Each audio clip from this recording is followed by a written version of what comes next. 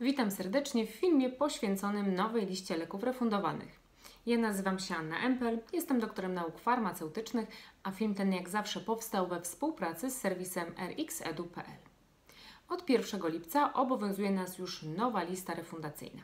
Aktualne obwieszczenie jest kontynuacją kierunku, zgodnie z którym Ministerstwo Zdrowia dodaje nowe terapie do systemu refundacyjnego.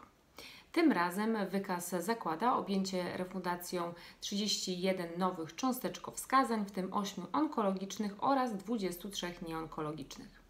Poza tym obwieszczenie jest też kontynuacją działań w zakresie poszerzania listy tzw. Tak polskich leków. Porównaniu z poprzednim obwieszczeniem wprowadzono następujące zmiany. Ogółem do wykazu zostało dodanych 99 nowych wskazań refundacyjnych lub produktów leczniczych, wśród których znajdziemy m.in. leki diabetologiczne. Rozszerzono bowiem wskazania refundacyjne dla wszystkich insulin długodziałających, np. dla insuliny Tresiba. Usunięto zapisy dotyczące dokładnego określenia typu cukrzycy czy występowania hipoglikemii. Nowe obwieszczenie zakłada refundację tego typu preparatów dla wszystkich osób chorujących na cukrzycę, w tym osób dorosłych oraz dzieci powyżej pierwszego roku życia. Ministerstwo Zdrowia uwzględniło również fakt, że od 1 czerwca tego roku rusza w Polsce program finansowania in vitro.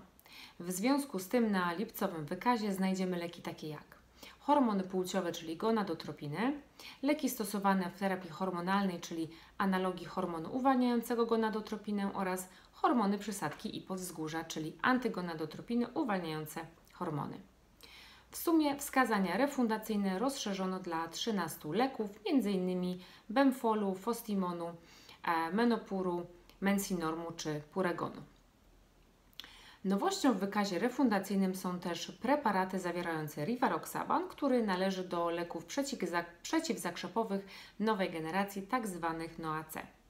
Refundowane preparaty z rivaroxabanem to Mibrex, Rixacom czy Zarixa, dostępne w standardowych dla tej substancji czynnej dawkach można powiedzieć, że jesteśmy świadkami postępującej generyzacji leków przeciwzakrzepowych z grupy NOAC, czyli obejmowania, sukcesywnego obejmowania refundacją kolejnych odpowiedników doustnych przeciwzakrzepowych leków oryginalnych. Dla 410 pozycji spadła dopłata ze strony pacjenta. Znacznie mniej za leki stosowane w kontrolowanej hiperstymulacji jajników zapłacą pacjentki poniżej 40 roku życia. W niektórych przypadkach różnica pomiędzy aktualnym a poprzednim obwieszczeniem sięga nawet 190 zł. Druga w kolejności najbardziej odczuwalna obniżka cen dotyczy leków przeciwzakrzepowych z grupy heparyn drobnocząsteczkowych w szerokim zakresie dawek. Mowa tu o kleksanę, fraksiparinie, fraksodi oraz neoparinie. Wśród znacznie tańszych pozycji na najbliższe 3 miesiące znajdziemy również aripiprazol jako aryzalerę, iwabradynę jako iwohard oraz sitagliptynę firmy Bioton. Na tym kończą się obniżki cen przekraczające 10 zł. Pozostałe pozycje lekowe to obniżki poniżej tej kwoty, maksymalnie do kilku złotych. Dla 282 pozycji wzrosła dopłata ze strony pacjenta. W przypadku 22 pozycji wzrost cen przekroczył 10 złotych. Największe podwyżki dopłat do leczenia są odczuwalne dla alergików, którzy stosują wyciągi alergenowe roztoczy kurzu domowego. Od 1 lipca więcej zapłacą też ci pacjenci, którzy chorują na zakrzepicę żył głębokich oraz zatorowość płucną i w ramach leczenia lub profilaktyki stosują leki przeciwzakrzepowe nowej generacji e, z grupy bezpośrednich inhibitorów trombiny oraz czynnika XA. Mowa tu o już wcześniej wspomnianym rivaroxabanie, ale również apixabanie czy dabigatranie, czyli odpowiednio o lekach takich jak Xarelto, Eliquis czy Pradaxa. Z 3 do 48 zł wzrósł koszt leku, który będzie musiał pokryć pacjent stosujący efentorem, czyli fentanyl w postaci tabletek podpoliczkowych.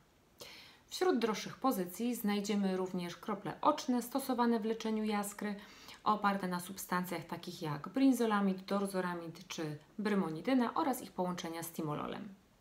Jak również e, droższe na najbliższe 3 miesiące będą opatrunki specjalistyczne stosowane w leczeniu przewlekłych owrzodzeń, takie jak Urgoclean, Urgostart, e, Actiflex, Acticoat czy Aquacel porównaniu z poprzednim obwieszczeniem z listy usunięto 142 wskazania refundacyjne lub produkty lecznicze, m.in. Sirdalut MR. Kolejna wykreślona pozycja to agen 5 oraz 10 mg substancji czynnej w opakowaniach 60-tabletkowych we wszystkich zarejestrowanych wskazaniach na dzień wydania decyzji. Z refundacji w leczeniu cukrzycy wypadł Edform w dawkach od 500 do 1000 mg metforminy oraz Siofor 850 w opakowaniach po 60 tabletek. Przynajmniej przez najbliższe 3 miesiące refundowane nie będą też doustne postacie amoksycyliny pod nazwą Ospen oraz Ospamox w dawkach 500 oraz 750 mg substancji czynnej. To wszystko, jeżeli chodzi o podsumowanie lipcowej listy leków refundowanych, która będzie obowiązywać nas do końca września. Po więcej szczegółów odsyłam Państwa do oficjalnej pełnej wersji obwieszczenia, którą można znaleźć na stronie Ministerstwa Zdrowia. Pozdrawiam i do zobaczenia.